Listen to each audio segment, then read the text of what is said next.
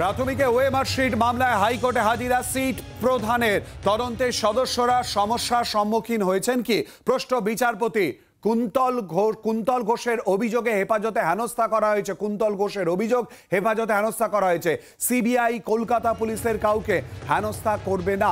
কলকাতা পুলিশকে এই মামলায় অন্তর্ভুক্ত করা হয়নি। কোর্টের অনুমতি ছাড়া পদক্ষেপ নেওয়া যাবে না।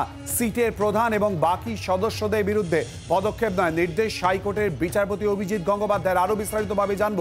সঙ্গে রয়েছে আমাদের প্রতিনিধি অর্ণমাংশু নিয়োগী। অর্ণমাংশু ঠিক কি নির্দেশ দেন এ প্রসঙ্গে বিচারপতি? দেখো, সেটা হচ্ছে আজকে বিচারপতির কাছে সশরীরে হাজিরা দেন সিটের প্রধান অশ্বিন সেনভি। তার কাছে প্রশ্ন করার মাত্র তিনি বলেন যে একটি কলকাতা পুলিশ তাকে হেনস্থা করছে, তাদেরকে হেনস্থা করছে। এই পর্বেই তিনি বিচারপতি বলেন যে কলকাতা পুলিশ কিন্তু এই মামলা অন্তর্ভুক্ত করা হয়নি। কোর্টের অনুমতি ছাড়া সিটের প্রধান বা সিটের বাকি সদস্য এবং ইডি কাউকেই তাদের বিরুদ্ধে কড়া পদক্ষেপ নেওয়া যাবে না, আদালতের অনুমতি ছাড়া। এমনই রক্ষা কবচ দিয়েছে।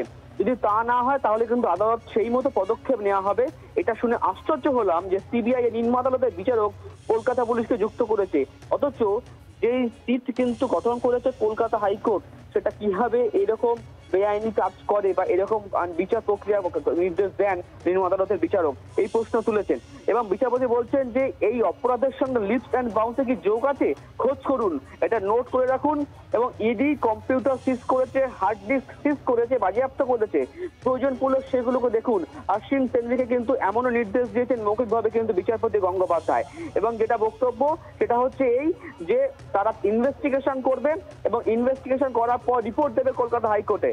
আশ্বিন সেনভির বক্তব্য শোনার পর আদালত মনে করেছে তাই আগামী চার তারিখ বা চৌঠা অক্টোবর সিবিআই এর ডিরেক্টরকে কিন্তু আর ভার্চুয়ালি হাজিরা দিতে হচ্ছে না, এমনটা বিচারপতি নির্দেশ দিয়েছেন।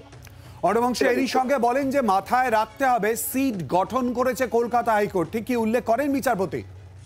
দেখো সেটাই বক্তব্য যে এই সিট গঠন করেছে কলকাতা হাইকোর্ট। সেই বিচারের কোনো এখতিয়ার নেই বিচারকের কোনো এখতিয়ার নেই এই মামলার মধ্যে প্রবেশ করা।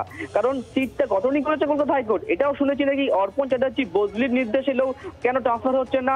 কারও হাত রয়েছে কি? বদলি চার তারিখের বদলিটা চার তারিখের মধ্যেই কার্যকর করতে হবে এমনটা নির্দেশ দিয়েছেন। এবং দ্বিতীয়ত এখানে সংশয় প্রকাশ করেছেন বিচারক খুব গুরুত্বপূর্ণ একটা বক্তব্য যে যা ট্রান্সফার হয়ে গেছে তিনি এখনও রয়েছেন তার মানে কারও হাত রয়েছে এই সংশয় প্রকাশ করেছেন বিচারপতি। আজকে ধন্যবাদ অর্ণবাংশু। কথা বললাম আমাদের প্রতিনিধি অর্ণবাংশু নিয়োগীর সঙ্গে। আর এই প্রসঙ্গ নিয়ে আইনজীবী ও সিপিএম নেতা বিকাশ রঞ্জন ভট্টাচার্য কি বলেছেন? অপরদিকে তৃণমূল সাংসদ শান্তনু সেন তিনি কি বলেছেন? শোনাবো। তিনি মন্তব্য করেছেন তিনি দেখছেন যে বারবার তদন্তের কাজে বাধা দেওয়া হচ্ছে এবং সেক্ষেত্রে রাজ্য সরকারের পুলিশ তদন্তের কাজে মাঝে মাঝে বাধা সৃষ্টি করছেন সেই জন্য তিনি বলেছেন যে দুর্নীতিগ্রস্তদের বিরুদ্ধে লড়াই করুন। এবং সেই দুর্নীতিগ্রস্তের তদন্ত চলাকালীন যাতে যারা তদন্ত করছেন, তাদের বিরুদ্ধে অযথা হয়রানি না হয়, সেটা দেখার দায়িত্ব তো রাজ্য পুলিশের। এবং মুখ্য সচিবকে তিনি বলেছেন, এবং যারা দুর্নীতি করেছেন তৃণমূলের লোকেরা, তাদের কাছে তো বিচার ব্যবস্থার সক্রিয় হস্তক্ষেপ বড় বেদনার হবে, তাই তারা এসব মন্তব্য করছেন।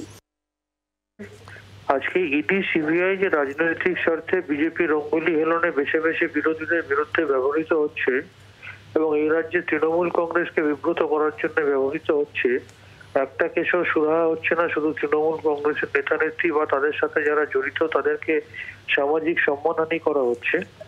এবং বিজেপির যাদের নামের বিরুদ্ধে সিবিআই এফআইআর আছে বা যারা অভিযুক্ত বা যাদেরকে প্রকাশের টাকা নিতে দেখা গেছে, তাদের বিরুদ্ধে ইডি, সিবিআই তদন্ত করছে না, এটাও বিচারপতির দেখা উচিত। তো উনি যখন উনি যেমন বলছেন যে এই দুর্নীতির বিরুদ্ধে তদন্ত হওয়া উচিত। পাশাপাশি আমরাও বলছি, একজন দেশের জনগণ হিসেবে যে যারা বিচার ব্যবস্থার ধারক বাহক সেই মাননীয় বিচারপতিদেরও কোনো কোনো রাজনৈতিক দলের নেতাদের মতো আচরণ করা উচিত না। সেটাও যেন তারা তাদের কথাবার্তা, কাজকর্মের সময় মনে রাখেন বাংলার আওয়াজ, বাঙালির আবেগ। জি, চব্বিশ ঘণ্টা।